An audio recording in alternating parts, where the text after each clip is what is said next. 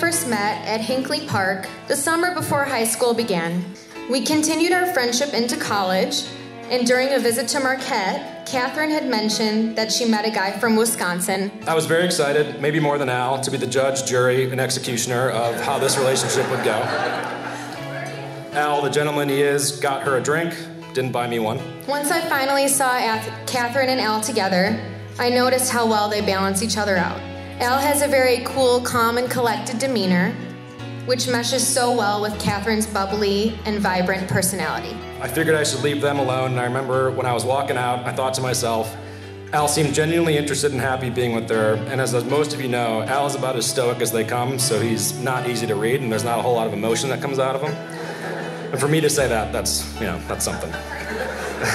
Katherine is such a generous, fun, loving girl, on top of being an incredible realtor if anyone's looking to move to the Milwaukee area. and I have zero doubt that you two are just starting an amazing journey together. I am confident that her positivity and Al's selflessness will guide them through life's challenges and triumphs.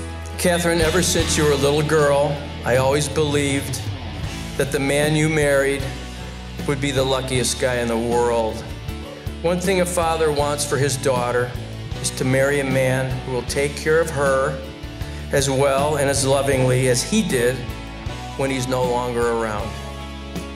So, yeah, Al's the luckiest guy in the world, but so am I.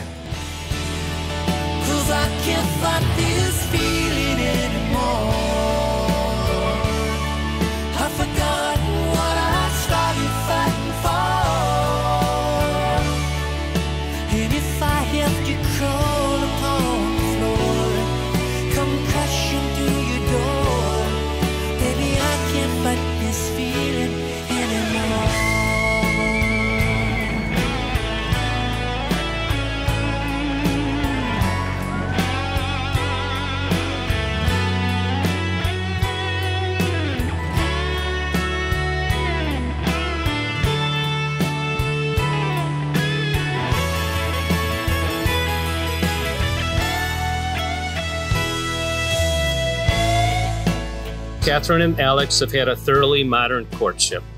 They met on a dating app back when doing so was nowhere near as commonplace as it is today.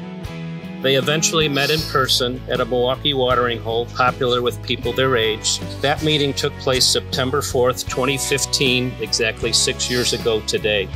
Initially, it was a little bit of big city girl meets small town boy.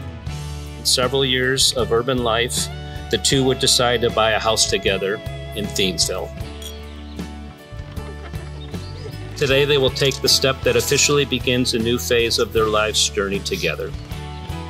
It is my honor and delight to declare you husband and wife. Alex, you may kiss the bride.